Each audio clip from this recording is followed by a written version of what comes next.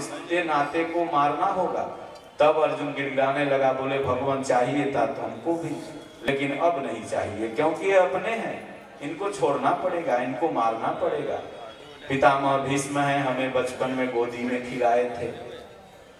अपने नहीं खा के मौत हमको चटा देते थे। देखते हैं, बुढ़वा लोग पोता नाती को कैसे चटाते रहता है। ये हमारे कुलगुरु हैं।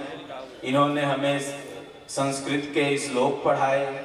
ये द्रोणाचार्य जी हैं, इन्होंने हमें युद्ध कला में निपुण बनाया। ये जितने हैं, सब मेरे हैं, अपने हैं। इनको हम कैसे मारूं? हताश हो जाता है, निराश हो जाता है और यही सोच करके जाके पिछले भाग में बैठ जाता है। बोला, प्रभु, आप भी पापी कहलाएँगे। आपको भी दुनिया कहेगा, अर्जुन समझदार था, लेकिन कृष्ण लड़ाए कृष्ण पागल थे। इसलिए ऐसा करें, हमें ये मार डालें लोग हमें कहेंगे तो अर्जुन समझदार था, युद्ध को बचा लिया। भगवान ने कहा, अभी तीन दिन पहले तो संधि प्रस्ताव के लिए मैं गया था। दुर्योधन ने कहा, सुई के कर्ण बराबर भी भूमि नहीं दूँगा, चाहे युद्ध हो जाए। अभी तो तुम उछल रहे थे धनुष लेके कि एक बाण में ये मारेंगे, उसको नष्ट कर देंगे। दूसरा बाण में पुलिस सेना को मार देंगे। अभी क्या हो गया? भगवान ने यही प्रश्न को मात्र करने के लिए सात सौ श्लोक सुनाया। जिसमें बहुत बार अर्जुन ने उस श्लोक को पढ़ा, बहुत इकतालीस बार।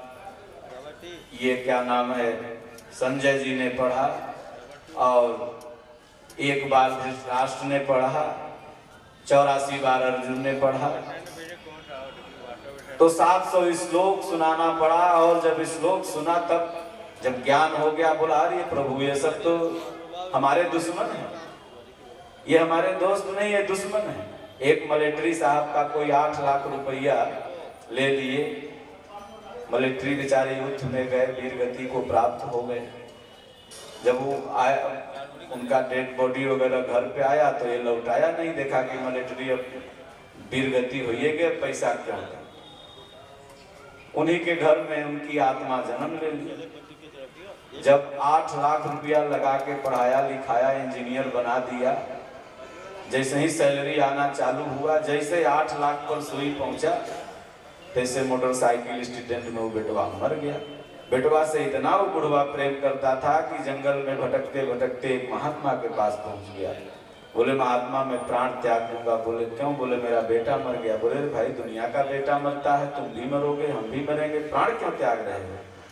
बोले, बहुत प्रेमी था, या तो बताएँ वो क्यों मरा? महात्मा अंतर्यामी थे। महात्मा ने कहा, किसी मिलिट्री का आठ लाख लिया था। बोले हाँ महाराज, एक आप कैसे जानते हैं, एक मिलिट्री का हमने आठ लाख लिया था। बोले, वो है तो बेटवा बन के आ रहा। जब आठ लाख पूरा भर अपन लेके निकल गया, अब वो तुमको नहीं देगा। तो वास्तव में गीता में भी है कि शरीर संस्कारों पर आधारित है। महाराज जी से किसी ने क्वेश्चन किया, जब गीता प्रकाश में आई तो कहा, महाराज जी, शिशु क्यों मर जाते हैं? जब बुढ़े ही मरते, शिशु क्यों मर जाते हैं? महाराज ने कहा, शरीर तो संस्कारों पर आधारित है। इसलिए इलाहाबाद हाई कोर्ट ने कहा, गीता राष्ट्रीय धर्मशास्त्र होना चाहिए। गीता में न जाति शब्द का उल्लेख है, न पाति शब्द का उल्लेख है, ये सब पुरानी बातें हैं, आप सब लोग जानते हैं। ये हम लोग नए जगह बोलते हैं। इसलिए चलते, फिरते, उठते, बैठते, सोते, जागते भगवान ने कहा, ओम का जाप करने के लिए। गोस्वामी तुलसीदास जी ने कहा, राम सकल नामन ते अधिका हो नाथ गणपति का राम, ओम, शिव। हम लोग भोलेनाथ की नगरी में बैठे हुए हैं, हमेशा ध्यान रहे। पूरा विश्व ही भगवान का है, भोलेनाथ की नगरी है। लेकिन काशी पर विशेष इसलिए कि यहाँ भोलेनाथ ने तपस्या किया। यहाँ पर ज्योतिर्लिंगों में सर्वश्रेष्ठ ज्योतिर्लिंग यहाँ माना जाता है और हम लोग यहाँ बैठे हैं, इसलिए एक कहानी आप लोगों को सुना देते हैं। अगर यह कहानी आप लोग सुन के समझ लिए और उस पर चलना प्रारंभ कर दिए तो वास्तविक मानवाधिकार आपको मिल जाएगा और नहीं तो जीवन भर ऐसे ही रह जाएँगे। ऐसे संगोष्ठियों में जाते रह जाएँगे, सुनते रह जाएँगे, केस सफ़ेद हो जाएँगे, फिर भी कुछ नहीं मिलने वाला। कहानी है, जानते हैं, एक भगत था, सुनाते हैं, भगवान भोलेनाथ को प्रसन्न किया। भगवान भोलेनाथ आए, बोले, क्या चाहिए वर मांगो? इतना बड़ा लिस्ट निकाला। भोलेनाथ घबरा गए। एक बार मैंने महिषासुर को वरदान दे दिया, जाओ, जिसके माथा पर हाथ धर दोगे हूँ मर जाएगा। सर्वा पार्वती को देख के मुहा गया। देखा कि पहले शंकरे जी से फरिया लेते हैं, पार्वती जी के अपने पास ले जाएँगे, उसके बाद दूसरे के मारेंगे। अब शंकर जी के पीछे लगा दौड़ने भोलेनाथ भागने लगे सासाराम के पहाड़ों में, वहाँ पर है। भागते भागते चले गए। भगवान कृष्ण मोहनी रूप बना के आए। नाचने लगे नाचने लगे और नाचते नाचते जहाँ ऐसे किया तो उसने भी ऐसे कर दिया और वहीं पर भस्म हो गया। भोलेनाथ को भगवान कृष्ण बहुत डांटे, आप गांजा भाँग पी के वरदान दे देते हैं और परेशानी हमको मोल लेना पड़ता। आज से वरदान दीजिएगा सोच समझ के। भोलेनाथ ने कहा हाँ प्रभु, आज से मैं फूक फूक के पाँव धरूँगा जब कोई भगत आएगा तो गांजा पी के नहीं जाऊँगा वरदान देने। उस दिन भोलेनाथ जब लिस्ट देखे तो बोले देख लिस्ट में क्या लिखा है? बोले पढ़ूँगा आपसे क्या मतलब? बोले नहीं देखो मैं तुमको जितना दूँगा तुम्हारे पड़ोसी को दुगना दूँगा। तुमको एक गाड़ी तो तुम्हारे पड़ोसी को दो गाड़ी। तुमको एक तल्ला मकान तो तु, तुमने पड़ोसी को दो तल्ला मकान। तुमको एक बैल तो तुम्हारे पड़ोसी को दो बैल। वही लिस्ट फाड़ के भगत फेंक बोले, जाइए, कैलाश पर्वत में गाजा भाँग पीजिए, हमको कुछ नहीं चाहिए।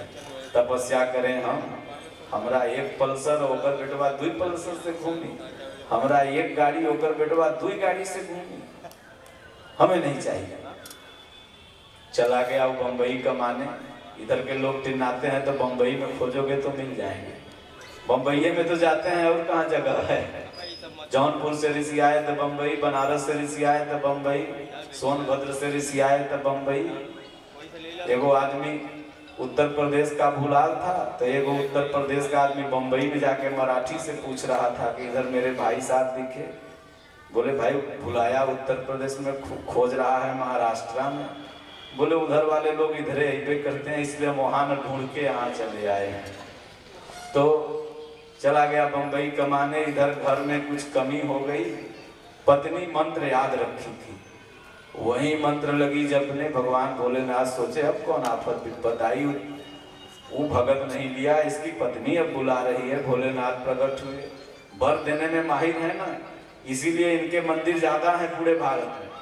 भगवान भोलेनाथ के सबसे ज़्यादा भजन किसका करें? स्वामी जी ने कहा है, सार्वधिक शिव मंदिर भारत में पाए जाते हैं। गंगा के किनारे विशेषकर हम लोग विचरण किए हैं, देखे हैं, गंगा के किनारे में शिव मंदिर बहुत है। और गंगा के किनारे के लोग धार्मिक होते हैं। अन्य इधर उत्तर प्रदेश में बोलता है ना कि दक्षिण है पाया एकदम तुम। दक्षिण में जाओ, कहें दक्षिण से शादी नहीं करता। और गंगा किनारे अगर घूम जाओगे तो वहाँ के लोग भगत होते हैं। प्रायः साधु सेवी होते हैं। क्यों? क्योंकि संत महात्मा द्वारा उपदेशित होते हैं। गंगा मैया के किनारे संत लोग घूमते रहते हैं। तो जहाँ संत रहेंगे, वहाँ तो लोग भगत बनिए जाएगा। जब पत्नी भगवान भोलेनाथ को बुलाई, भोलेनाथ आए, बोले, देखो भाई संत तो वही रहेगा। तुमको जितना दूँगा, पड़ोसी को दूना दूँगा, मांगना है तो मांगो, नहीं तो जाओ। पत्नी बोली, भोलेनाथ, दूना चाहे उसको तिगुना दीजिए, हमसे क्या मतलब?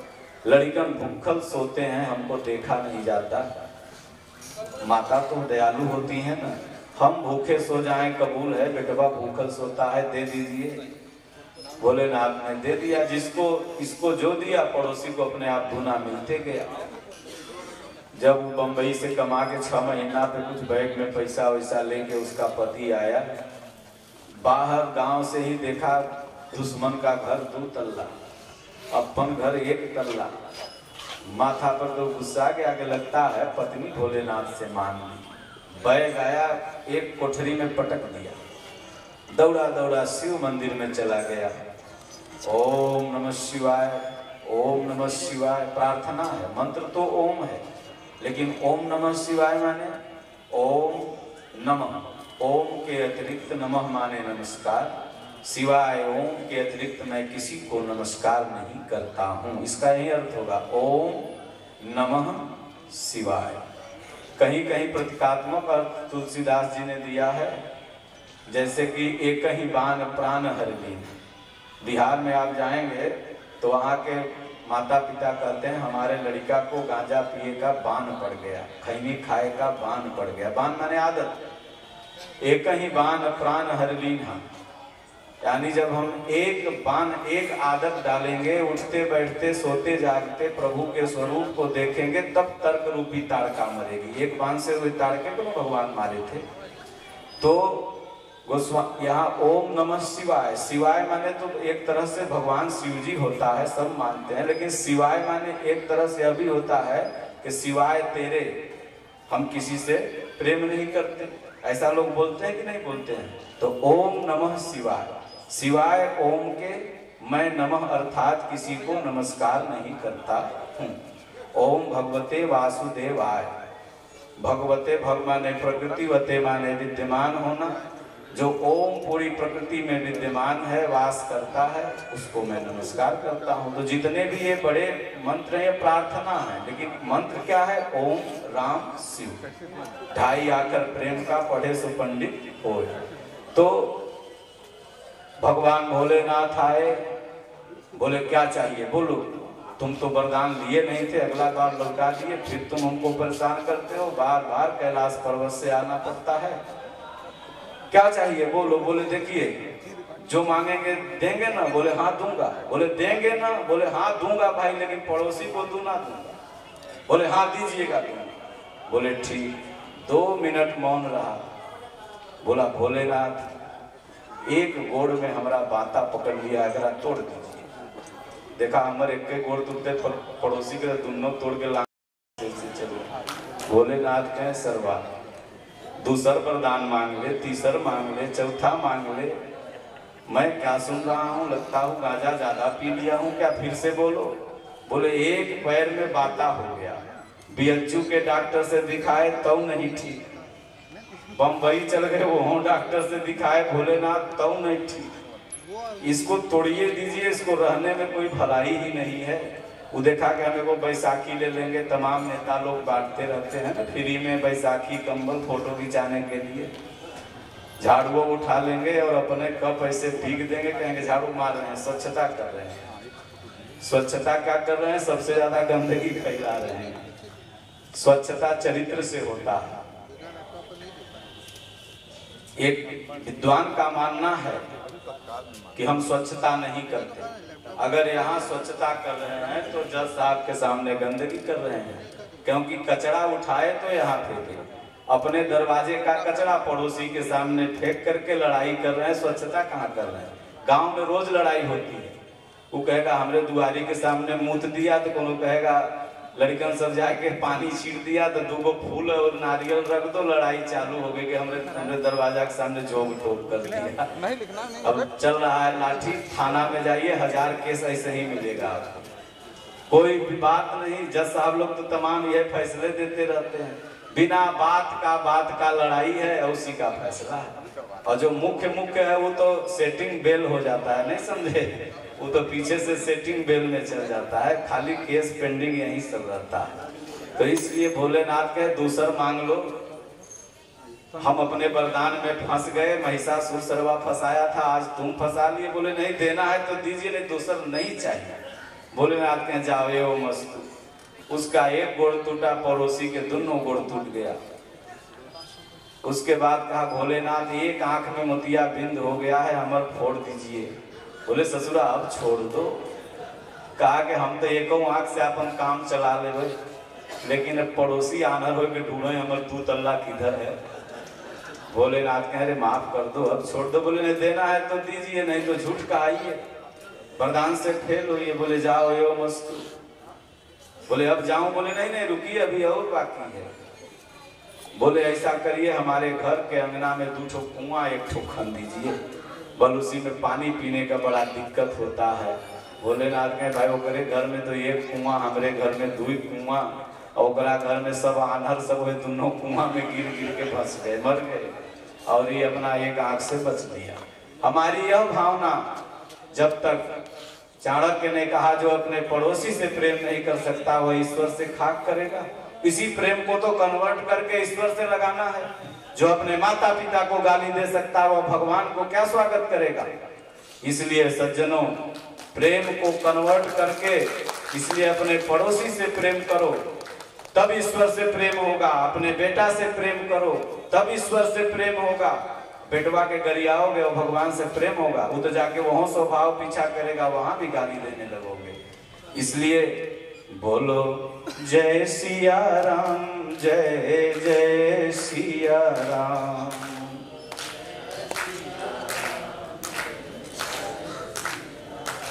बोलो, जय गुरुदेव जय गुरुदेव।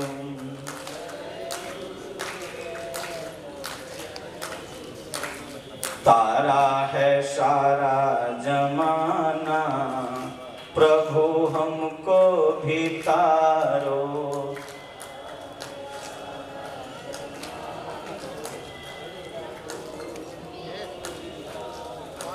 हमने सुना है प्रभु सबरी को तारा। हम सब लोग बोलो। हमने सुना है प्रभु सबरी को तारा।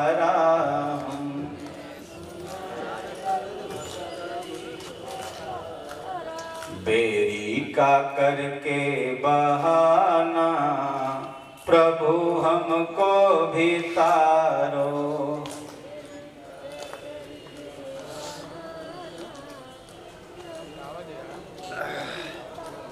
तारा है सारा जमाना, प्रभु हमको भी तारो।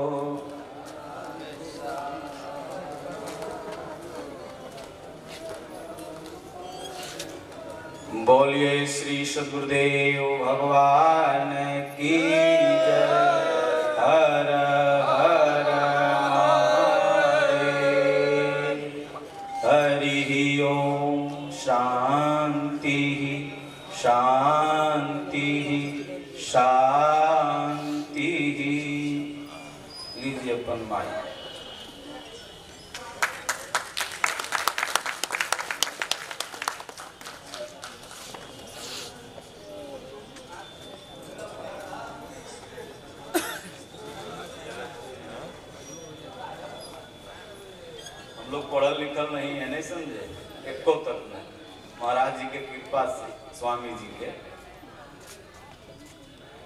गलतियों बोले होंगे बोले हैं कि नहीं?